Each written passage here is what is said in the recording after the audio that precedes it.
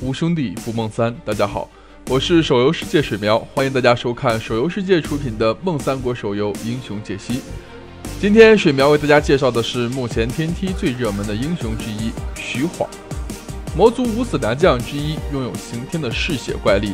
无论倒下多少次，徐晃总能一次又一次的重生，成为永生不死的战争机器。徐晃拥有很好的控制能力，大招的存在让他不用考虑生存问题。而被动的暴击和吸血也能让他瞬间爆发出可怕的伤害，可以说现在版本最完美的前排战士。下面我们来看看徐晃的技能解析吧。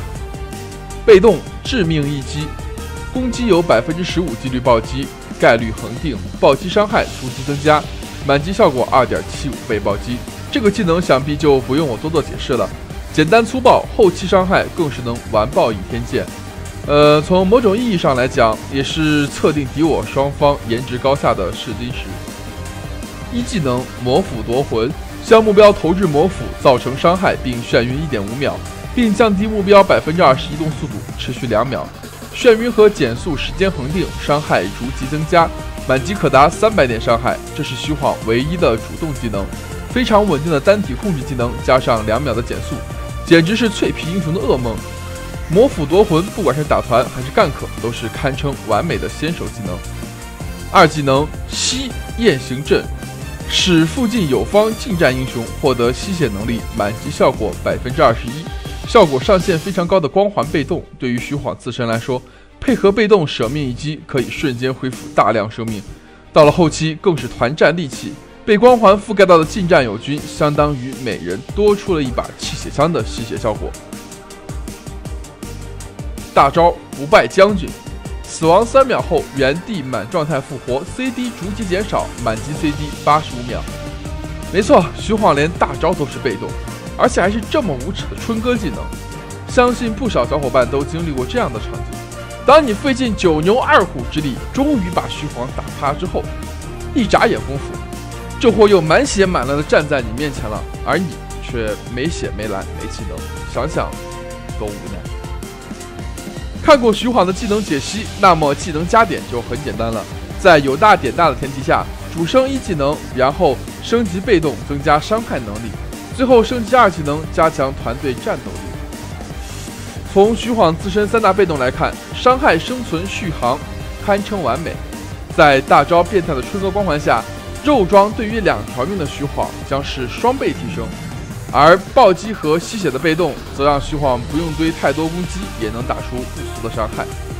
那么我们徐晃的出装思路就以半肉半输出为主，先堆肉提升大招性价比，再补足伤害。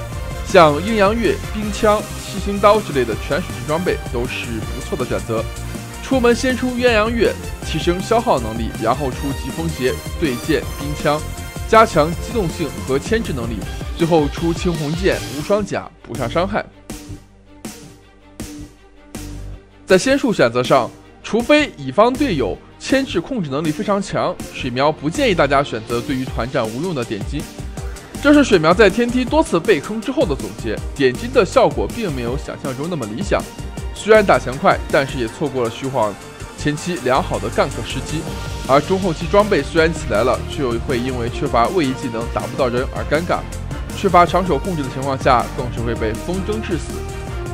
现在比较主流的打法是带红颜抢金元，拿一血必备。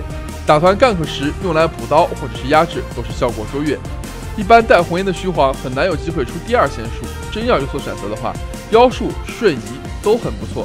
妖术提供强大的控制能力，能完美压制敌方输出；瞬移则是全民通用的位移能力，可以让打法更灵活。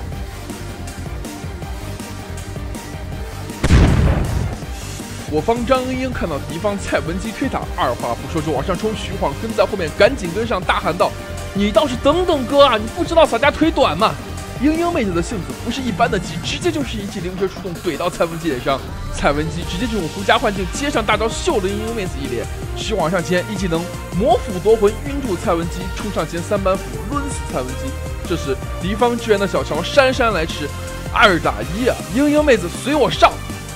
小乔见势不妙，转身想走，英英又是一招灵蛇出洞控住小乔。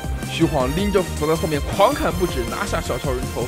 敌方黄忠的塔下猥琐的百步穿杨打到徐晃脸上，老头你等着，咱先进个草丛压压惊。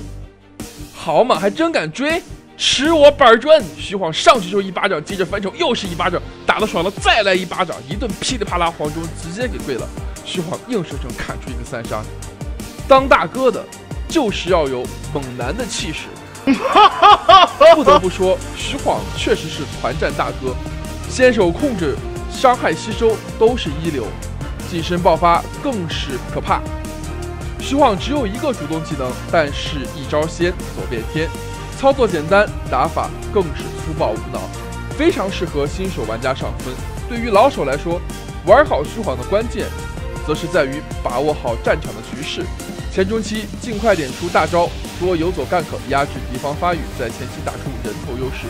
后期团战尽量先手开团，勇敢为队友吸收伤害，保护队友。只要仇恨拉得好，没有敌人干不到。这才是号称魔族鞋匠的虚晃。